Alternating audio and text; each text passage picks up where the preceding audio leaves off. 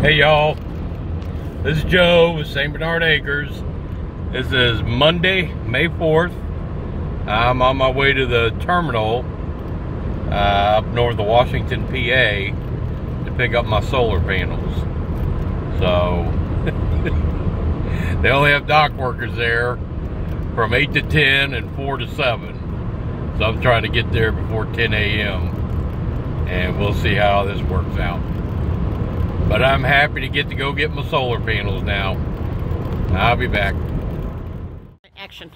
All right. Hey y'all, this is Joe. And Gail. Gail behind the camera. These are the solar panels.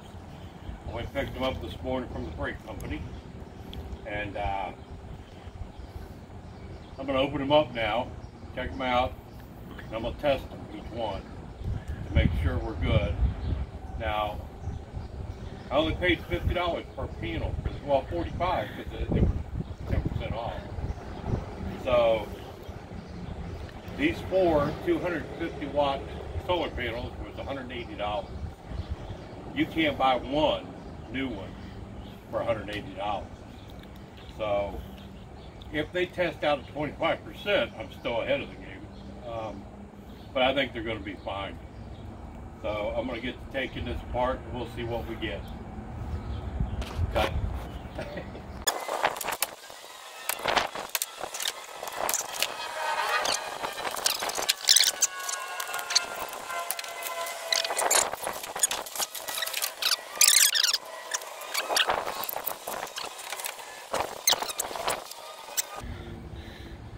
These are they.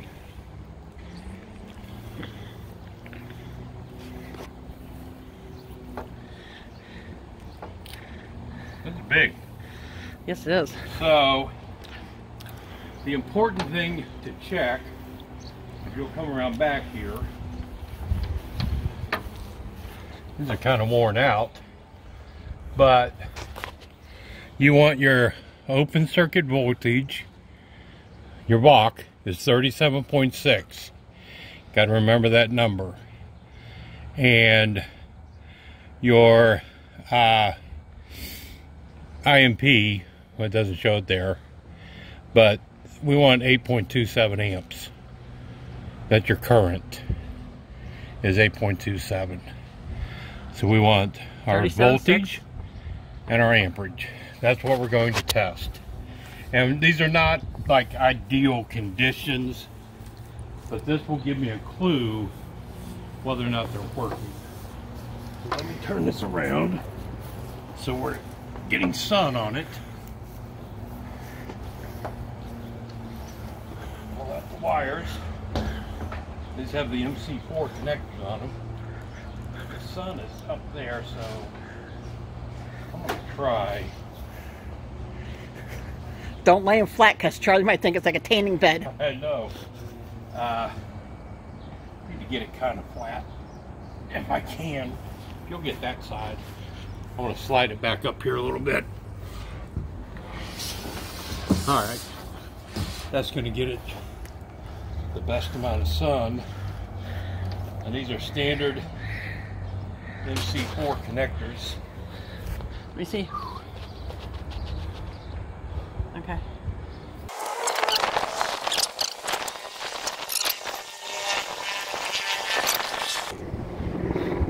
Well, it wasn't too bad out here with no coat on when it wasn't so windy. Now it's too windy. your- No, I'm okay. I'll, I'll. All right.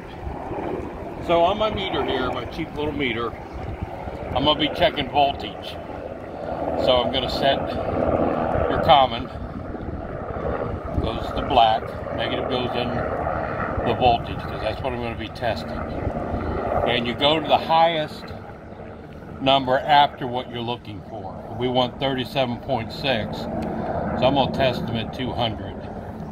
And you're gonna have to come over here in the shade, Gail see if you can see what that number is going to read. Let me get this out of the way. Okay, can you see it? Yeah, I can see it. Okay.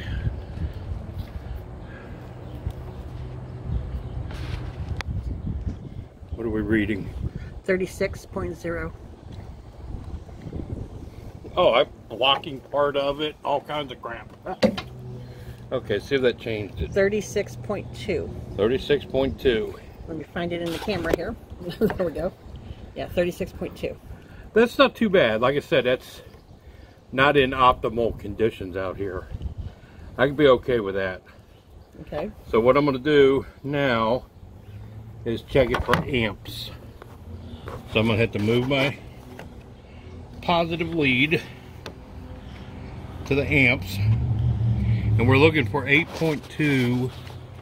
So I'm going to go to 10 amps and see what we get.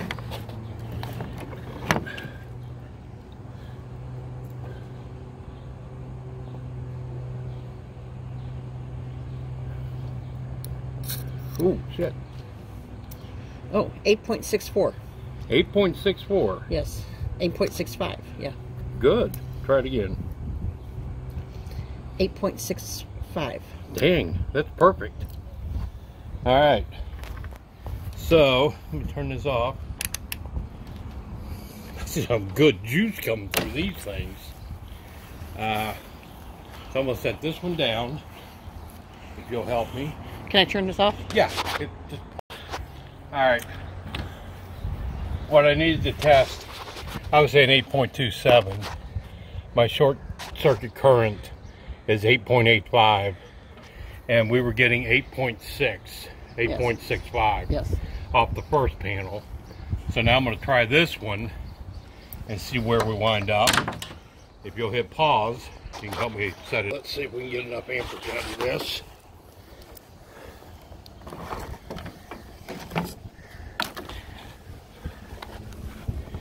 And here we go.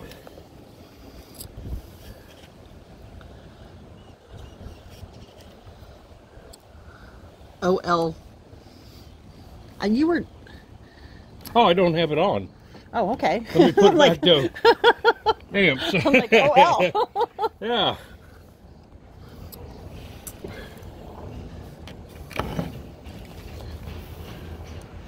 Nothing.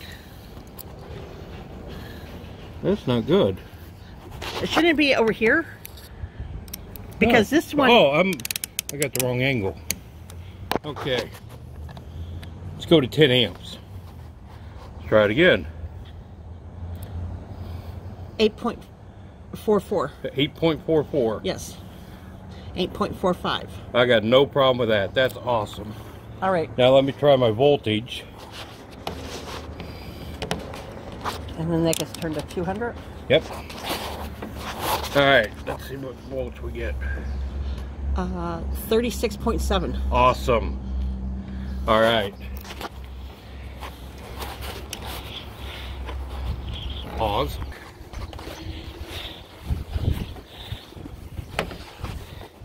So I'm gonna show you. 200. Yeah. I'm gonna set my meter to 200. Okay, look over here. I'll show you how I do this. This is my positive. This is my negative. I'll stick my lead down in there. Make sure I'm in that one. Put my positive in here. And what we we're get. at 37.0. Yeah, we're trying for 37.6. How awesome is that? Yep. All right. Now, we're going to take it down the change- battery change my lead. to 10. Yep. We'll check my amperage. And we want 8.85. Let me stick my negative in. And my positive. 8.57. Good enough for me. Right. So ideally, before you test your panels, these are dirty, they're dusty. You'll clean them all off and get an even better reading. Like I said, these are not optimal conditions. So I'm gonna do amps first because I'm already set. I'm in the amps mode there. Yeah, 10, right? Yep. So let's see what kind of power this one gets us. Put my negative in.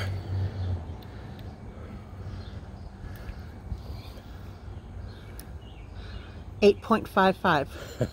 Perfect. All right. Change my lead over to vol uh, volts.